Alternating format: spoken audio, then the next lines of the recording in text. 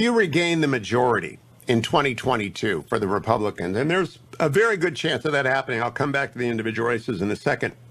Would the rule that you applied in 2016 to the Scalia vacancy apply in 2024 to any vacancy that occurred then?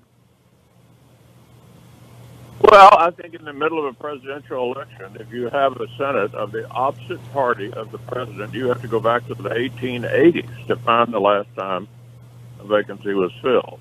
So I think it's highly unlikely. In fact, no, I don't think uh, either party, if it controlled, if it were different from the president, would confirm a Supreme Court nominee in the middle of, of an election. That uh, what was different in 2020 was we were of the same party as the Correct. president, and that's why we went ahead with it. I do think the issue that you raised is the single most consequential thing I've done in my time as, as Majority Leader of the Senate. Uh, preserve the Scalia vacancy or the Gorsuch uh, appointment. Uh, the Brett Kavanaugh appointment was certainly challenging and controversial, and of course, we had very little time left when Justice Ginsburg passed away, and that took a good deal of priority and uh, I think skill to get Barrett. Oh, nothing. Just Mitch McConnell broadcasting once again that if he were to become the Senate Majority Leader, that he would once again block a Democratic president from confirming a Supreme Court nominee. But sure, bipartisanship. And so that we're clear, all of this is couched in a made up rule. McConnell has unilaterally decided that even though a president has the right to nominate a Supreme Court justice, and even though the Senate has a constitutional obligation to advise and consent, that so long as a president and the Senate are of a different political party, that the Constitution somehow gets suspended. All because there is no limit that Mitch McConnell will go to to consolidate power for himself. And by the way, we already saw that shamelessness play out. In 2016, Obama nominated Merrick Garland to the bench, and that nomination languished for 293 days until expiring once Trump took office. Almost a year. All because supposedly the people deserved a voice in determining who the Supreme Court justice would be, and McConnell couldn't possibly deprive them of that with an election coming up.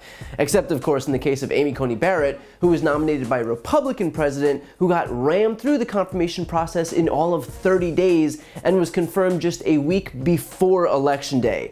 And on top of that, 65 million Americans had already cast their ballots. But hey, the American people deserve a voice in who their next Supreme Court justice will be, or whatever. The simple fact is that Mitch McConnell is content to hide behind the purported intent of the founders, but what he's done and continues to do are wholly and completely antithetical to democracy.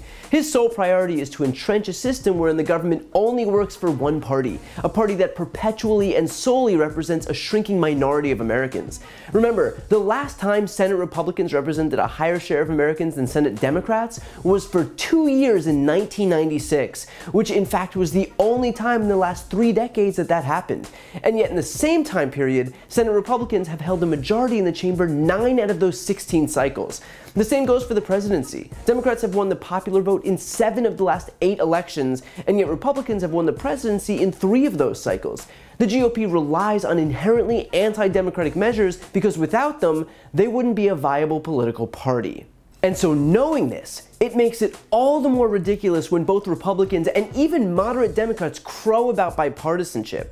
You've basically got the top Republican in elected office broadcasting that he will cheat. He is ensuring that we know his intention is to rig the rules of the system for his own party's benefit. And yet at the same time, they've got the audacity to criticize Biden for not only and always seeking out bipartisan solutions, for not constantly kowtowing to Republicans and acquiescing to their every demand.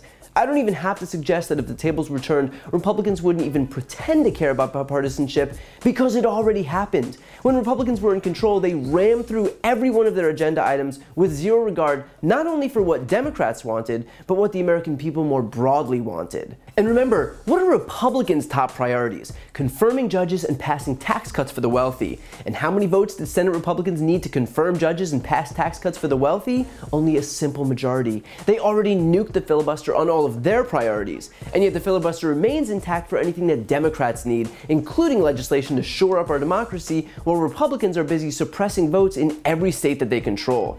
Those moderate Democrats like Joe Manchin and Kyrsten Sinema should probably recognize that Republicans have already whittled away at their precious filibuster for the things they care about and preserved it for the instances where Democrats would benefit. They're not protecting anything except Republicans' unfair advantage. The fact is that the danger of allowing Republicans to once again control the Senate is blatantly obvious, and we have to do anything and everything in our power to ensure that it doesn't happen. I started the Don't Be a Mitch Fund to raise money for voter outreach and voter registration organizations in the eight states with the closest Senate races in 2022 to help as many people possible vote and to ensure that McConnell never again becomes Senate Majority Leader. If you plan on donating in 2022 anyway, this is where your money will have the biggest impact. You can find a link in the post description to this video or on my website website, briantylercohen.com. But what's clear is that if you want democracy to work, you can't reward a party intent on destroying it. To see more videos like this, don't forget to subscribe. And for a deeper dive, check out my podcast, No Lie with Brian Tyler Cohen, where I discuss the week's top stories and interview major players in the world of politics, like Vice President Kamala Harris, White House Press Secretary Jen Psaki, Elizabeth Warren, Chuck Schumer, Katie Porter, Pete Buttigieg, Nancy Pelosi, and many more. Again, that's No Lie with Brian Tyler Cohen, available anywhere you listen to podcasts.